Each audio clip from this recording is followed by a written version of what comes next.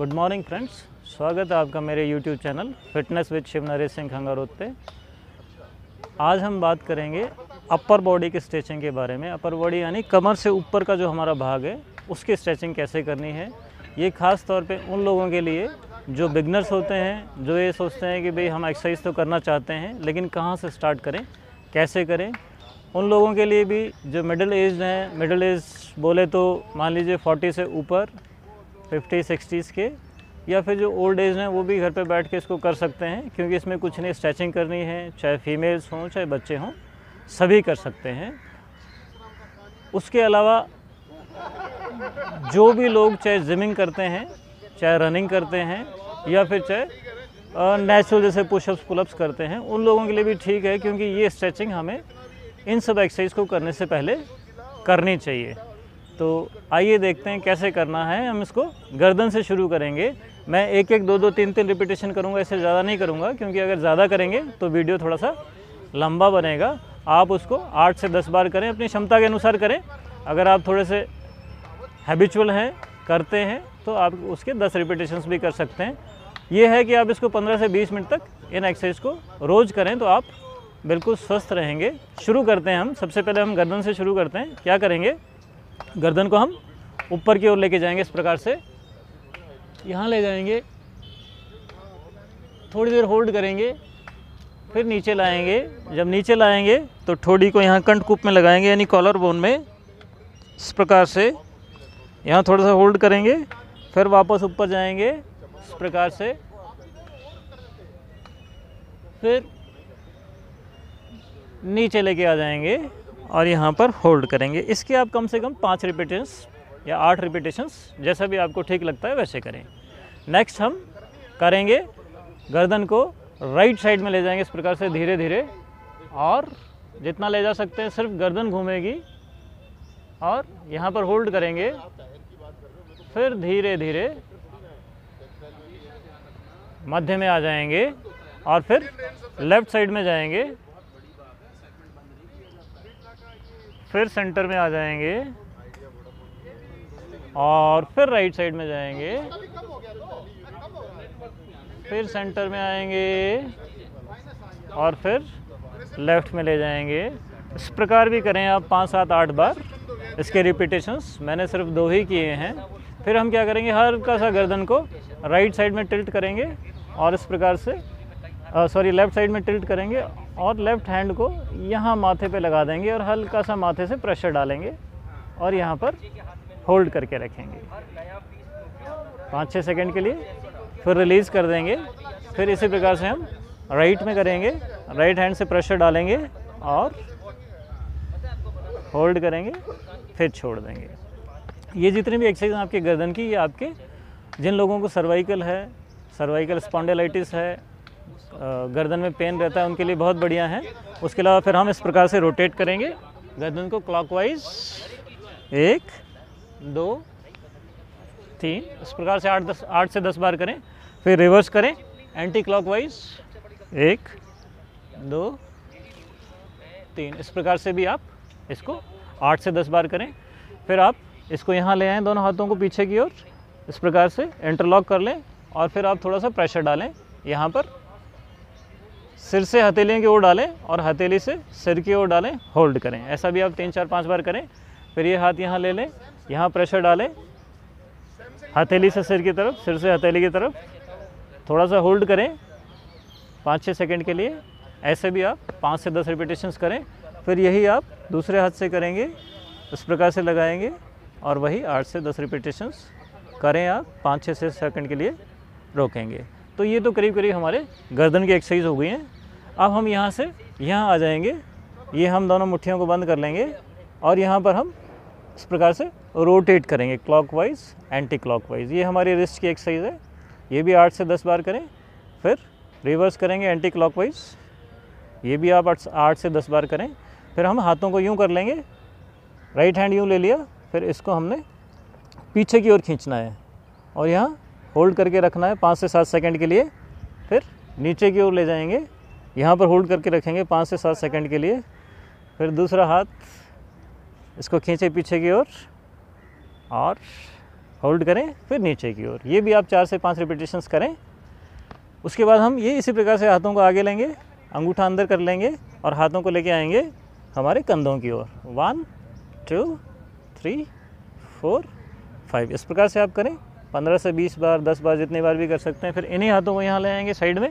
अंगूठा ऐसे ही रहेगा और कंधों की ओर लाएँगे। One two three four five six seven ऐसे पंद्रह से बीस बार करें, फिर यहीं से हम इसको यूँ घुमाएँगे। वन टू थ्री फोर पूरी कोहनी आगे से मिलनी चाहिए। फाइव सिक्स इस प्रकार से दस बार करें, फिर रिवर्स करें। One two three four five इस प्रकार दस बार करें, फिर यहाँ से यहाँ हम घुमा देंगे one two three four five six ये भी आप करें दस से पंद्रह बार, फिर यहीं से हम हाथों को इस प्रकार से कर सकते हैं, कोने को ऊपर ले जाएँ अल्टरनेट ऊपर, नीचे ऊपर नीचे ऊपर, नीचे। इस प्रकार से करें।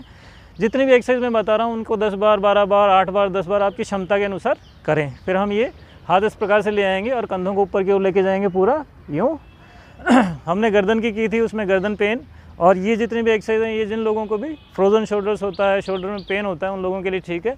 ऊपर ले जाएँ, नीचे लाएँ, ऊपर ले जाएँ, नीचे लाएँ, ऐसा करें आठ से दस बार, फिर हम यूँ आगे से पीछे घुमाएँगे कंधों को। ये गोला बनाएँगे पूरा, ये भी दस बार करें, फिर इसको आप पीछे से आगे लाएँ, और इसको करें, इसको भी वही आप आठ दस बार जितनी बार आगे से करते हैं, उतनी बार पीछे से करें। फिर इसको आप यूँ ले आएँ, आगे लाएँ कंधे, फिर पीछे ले जाएँ, आगे लाएँ, पीछे ले जाएँ, आगे लाएँ, पीछे ले जाएँ। इस प्रकार से करें, दस बार आप, पंद्रह बार।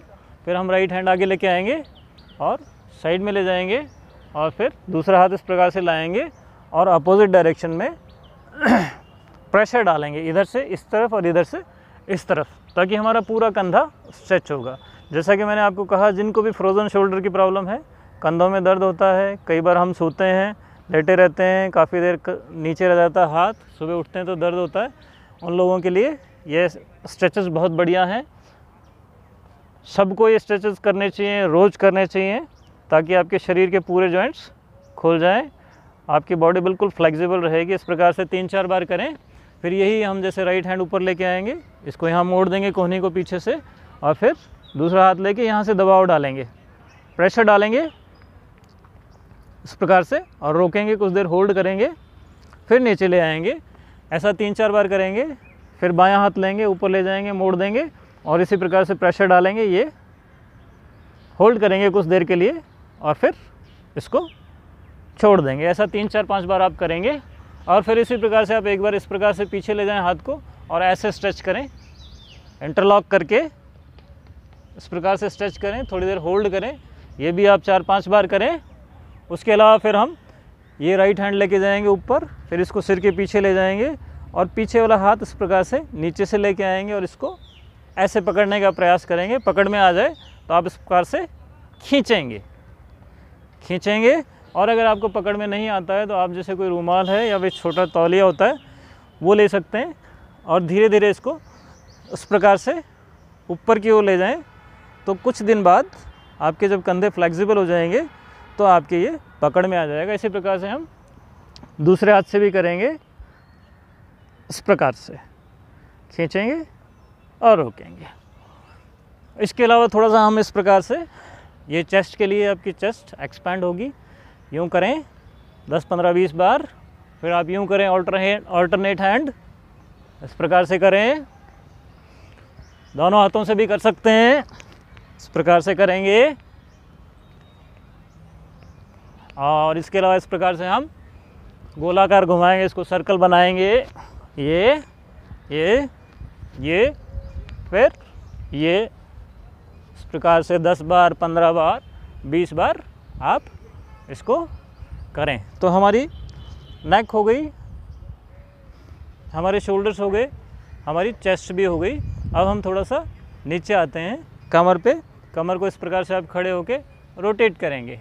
One two, three, four, five, six, ऐसे आप पंद्रह से बीस बार करें। फिर दूसरी और करेंगे, रिवर्स, इस प्रकार से घुमाएँगे। वही जितनी बार इस तरफ़ से घुमाते हैं, उतनी बार उस तरफ़ से घुमाएँ। फिर यहीं हम खड़े रहेंगे और दोनों हाथों को राइट लेफ़्ट घुटने तक लेके जाएँगे। सिर्फ़ कमर से हम नीचे जाएँगे और कुछ नहीं करेंगे। यहाँ जाएँगे। इस प्रकार से वही 15 से 20 बार करें, फिर दोनों हाथ आगे लें, हथेलियाँ आमने सामने रखें और सांस भरें और फिर इस प्रकार से पीछे जाएँ, यहाँ रुकें, फिर वापस आ जाएँ, फिर दूसरी ओर जाएँगे श्वास भरेंगे और यहाँ जाएँगे, रुकेंगे। दो तीन बार ऐसे करें, फिर थोड़ा फास्ट करें, फास्ट जाएँ, फास्ट आएँ, फास्ट जाएँ, फास्ट आएँ। ये इस प्रकार से हम करेंगे। तो ये थी साथियों आज छोटी मोटी स्ट्रेचिंग एक्सरसाइज जो हमने कहा कि बॉडी के अपर पार्ट के लिए, यानी कि आपके सिर, गर्दन, कंधे चेस्ट और कमर तक के लिए। अगले वीडियो में हम लोअर पोर्शन की बात करेंगे। तो आज की वीडियो में सिर्फ़ इतना ही। अगर आपको वीडियो अच्छा लगा हो तो आप इसे शेयर ज़रूर करें लाइक करें कमेंट करें और चैनल पर अगर आप नए हैं तो इसे सब्सक्राइब ज़रूर करें। थैंक यू आपका दिन अच्छा हो, शुभ हो, आप सुखी रहें, स्वस्थ रहें, खुश रहें। धन्यवाद।